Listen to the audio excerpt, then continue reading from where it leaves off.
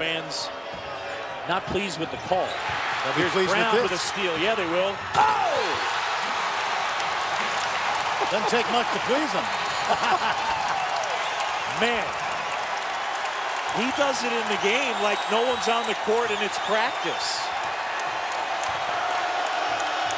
And that gets the crowd going a little bit. And I think we'll see this play a few more times tonight, John. What do you think?